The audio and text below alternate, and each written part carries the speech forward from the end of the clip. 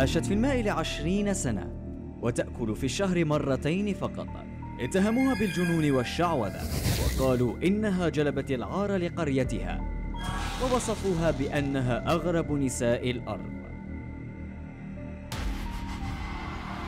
تعالوا معنا لنتعرف على قصة جديدة من عالم غريب.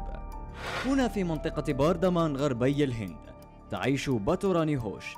المرأة كانت تتمتع بحياة طبيعية لسنوات طويلة من عمرها حتى أصابها مرض خطير في مفاصلها وجعلها طريحة الفراش.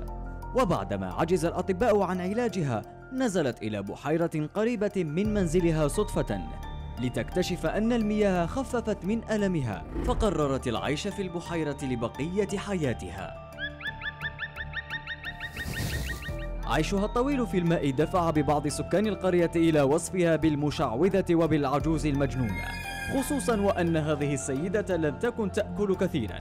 وجبتها الوحيدة هي طبق من الأرز مرتين فقط في الشهر.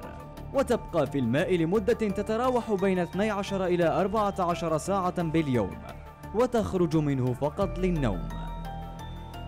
لكن ماذا يحدث لجسم الإنسان العادي إذا بقي لساعات طويلة في الماء؟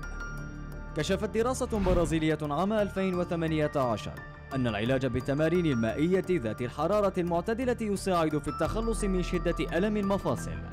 كما يحسن الوظيفة الجسدية بعد فترة تتراوح من ثمانية أسابيع إلى ثلاثة أشهر. دراسة أخرى قالت إن البقاء لفترة طويلة في الماء يسبب تجاعدا في أصابع اليدين والقدمين ويحفز ردود الفعل لدى الجهاز العصبي لتسهيل الإمساك بالأشياء. لكن انتبهوا. هناك دراسة ثالثة قالت إن الإنسان يعيش ساعة واحدة فقط داخل ماء درجة حرارته خمس درجات مئوية.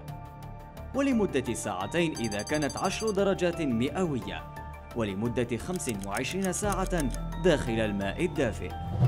القصة الغريبة لهذه السيدة دفعت الكثيرين إلى زيارة البحيرة لاكتشاف أسرارها ومعرفة حقيقتها. رغم أن أهل المنطقة لا زالوا متمسكين بأن ما حصل لباتوراني هو مجرد شعوذة أو جنون ما رأيكم؟